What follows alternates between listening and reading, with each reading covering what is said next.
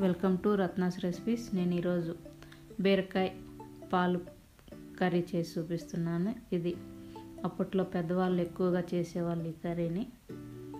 చాలా ఈజీగా చేసుకోవచ్చు. టేస్ట్ చాలా బాగుంటుంది. ట్రై చేయండి. ఇది వీడియో ఎక్కడ స్కిప్ చేయకుండా చూడడానికి ట్రై చేయండి. ఎలా చేయాలి అనేది ప్రాసెస్ ఇప్పుడు చూద్దాం. ఏమేం కావాలి ఎలా చేసేది.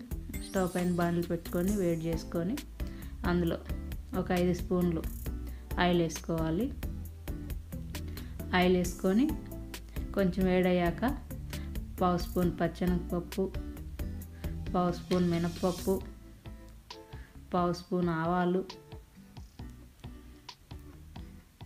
వేసుకొని పావు స్పూన్ జీలకర్ర వేసుకొని కొంచెం ఫ్రై చేసుకోవాలి. అట్లా ఫ్రై అయ్యాక ఒక ఎండుమిర్చి నాలుగు పీసులుగా కట్ చేసి వేసుకున్నాను. తుంచుకొని వేసాను అన్నమాట. ఇప్పుడు ఒక రెమ్మ కరివేపాకు ఒక మూడు పచ్చిమిర్చి ముక్కలుగా కట్ చేసి వేసుకున్నాను.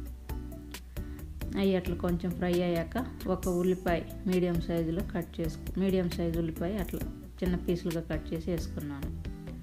ఇప్పుడు బీరకాయని ఒక ఆరు కిలో తీసుకొని అట్లా తొక్కంతా తీసుకొని అట్లా చిన్న చిన్న ముక్కలుగా కట్ చేసి పెట్టుకున్నాను పక్కన. అవి ఇది కొంచెం వేగాక ఇప్పుడు కొంచెం ఇంగువ ఒక పావు స్పూన్ అంతా వేసుకొని కొంచెం ఫ్రై చేసుకోవాలి. అవి కొంచెం ఫ్రై అయ్యాక పసుపు ఒక పావు స్పూను వేసుకొని కలుపుకోవాలి ఒకసారి. అలా కలుపుకొని టేస్ట్కి సరిపడ్డ సాల్ట్ వేసుకోవాలి. మీరు ఎంత అయితే వాడుకుంటారో సాల్ట్ కారం అవి రెండు మాత్రం మీ టేస్ట్కి తగ్గట్టు వేసుకోండి. మా టేస్ట్కి తగ్గట్టు నేను చూపిస్తున్నాను.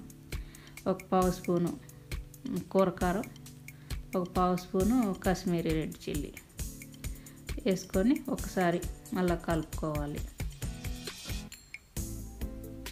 కొంచెం కలుపుకొని ఇదంతా సిమ్లో ప్రాసెస్. స్లోలో చేస్తే బాగుంటుంది కూర. ఇప్పుడు బీరకాయలు ముందుగా కట్ చేసి పెట్టుకున్నాం కదా హాఫ్ కేజీ. అవి వేసి అలా ఫ్రై చేసుకోవాలి. అంతా కలిసేటట్టు ఈ పోపు అంతా. ఇప్పుడు మూత పెట్టుకొని ఒక ఐదు నిమిషాలు మధ్య మధ్యలో కలుపుకుంటూ మూత తీస్తూ ముప్పై సెకండ్లకు ఒకసారి ముప్పై సెకండ్లకు ఒకసారి తీస్తూ ఆ బీరకాయలోనే నీరు ఉంటుంది అన్నమాట మనకి. మనం నీళ్ళు ఏం పోయాల్సిన అవసరం లేదు. అలా కలపడం వల్ల ఆ నీరు కొంచెం ఉడుకుతూ బీరకాయ బాగా క్రంచీగా అన్నట్టుగా వస్తుంది అనమాట టేస్ట్ డిఫరెంట్గా వస్తుంది. అవి అట్లా బాగా మగ్గినాక మధ్య మధ్యలో ముప్పై సెకండ్లు ముప్పై సెకండ్లు కంపల్సరీ కలుపుకుంటేనే అన్నీ ఈక్వల్గా ఉడుకుతాయి అన్నమాట మనకు కూర అంతా అట్లా దగ్గరకు వస్తుంది. అట్లా దగ్గరకు వచ్చినప్పుడు నువ్వుల కారం. నువ్వుల కారం కానీ పల్లీల కారం కానీ ఏ వంటల్లో ఏదైనా వేసుకోవచ్చు.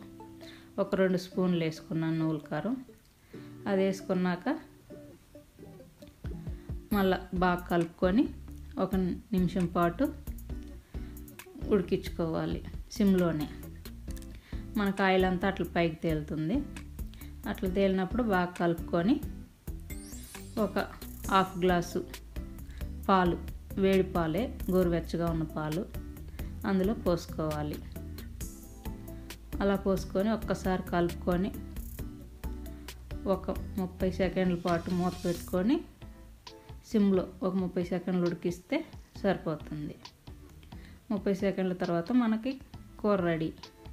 చూశారు కదా? అట్లా రెడీ అయి ఉంటుంది అనమాట ట్రై చేసి చూడండి పిల్లలకి పెట్టండి డిఫరెంట్ టేస్ట్లు.